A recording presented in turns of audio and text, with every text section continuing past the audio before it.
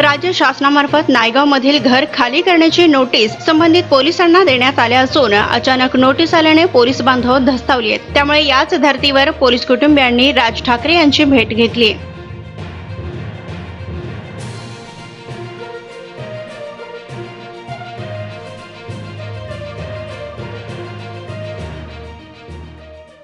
त्यांची भेट घेतलेली आहे. काय नेमका हा सगळा मुद्दा आहे? काय आश्वासन दिलेलं आहे. नायगाव पोलीस वसाहतीमध्ये राहणारे जे आपले पोलीस बांधव आहेत त्यांना काही दिवसांपूर्वी अचानक अशा नोटीस आल्या की तुम्ही त्या इमारतींची अवस्था काही फारशी चांगली नाही आहे आणि तुम्हाला तात्काळ इथून कुठेतरी दुसरीकडे राहायला जावं लागेल. तर मुळात विषय की ही मंडळी इथे अनेक वर्षानुवर्ष राहतात त्या सगळ्या लोकांच्या मुलाच्या शिक्षणाचा प्रश्न आहे. इतर अनेक गोष्टी आहेत. आणि त्यांना अचानकपणे दहा दिवसाच्या आतमध्ये जर जायला सांगितलं तर ते कसं काय कुठे जाऊ शकतात? मुंबईमध्ये पटकन दुसरी जागा मिळणं हे काही शक्य नाही. त्यामुळे त्यांचा ह्या गोष्टीला विरोध आहे. त्यांचा सहानुभूतीपूर्वक विचार करून त्यांना तिथेच राहण्याची मुभा देण्यात यावी. कारण त्यातल्या बहुसंख्य लोकांचं म्हणणं असं आहे की त्याचं जे काही नक्की स्ट्रक्चरल ऑडिट झालेलं आहे त्याच्यामध्ये सुद्धा कितपत काय त्याचा रिपोर्ट आहे? खरंच ती इमारती म्हणजे पडायला आलेल्या आहेत का? मोडकळीस आलेल्या आहेत का? याचंही उत्तर त्यांना कोणी अधिकृतपणे देत नाही आहे त्यामुळे त्यांच्या मनामध्ये प्रचंड संभ्रम आहे.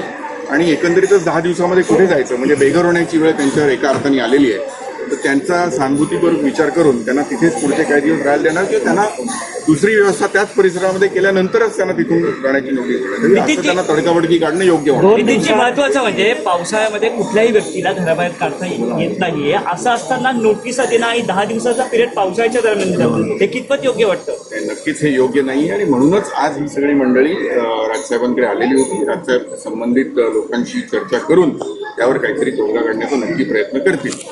राज ठाकरे काय म्हणाले त्यांना? आधी कुणाला भेट घेऊन मग मी तुम्हाला भेटतो असं ते म्हणाले. पुढच्या काही दिवसांमध्ये या संबंधात निर्णय घेणारी जी अ, प्रशासनातले लोक आहेत मंत्रिमंडळातले लोक आहेत त्यांच्याशी राजसाहेब संपर्क करतील आणि हा प्रश्न सोडवतील. हा विषय अनेक पोलीस वसाहतींमधला आहे. म्हणजे आज जरी इथे नायगावचे लोक आलेले असले तरी माहीम असेल किंवा माहीममध्ये काही वर्षांपूर्वी अशाच पद्धतीचा प्रश्न आला होता. अचानकपणे अनेक लोकांना तिकडून हलवून नायगावला नेण्यात आलं होतं आणि त्या इमारतीच्या तात्काळ तोडण्यात येणार होत्या.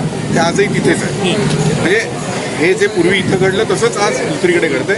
तर याच्यावरती कायमस्वरूपी तोडगा काढणे कारण हे जे पोलीस बांधव आपले आहेत ते चोवीस तास आपल्या संपूर्ण मुंबई शहर किंवा यांच्या संरक्षणासाठी काम करत असतात. त्यांना बेघर करणं हे काही अजिबात योग्य नाही ही चुकीची गोष्ट आहे. त्यामुळे त्यांना न्याय मिळालाच पाहिजे.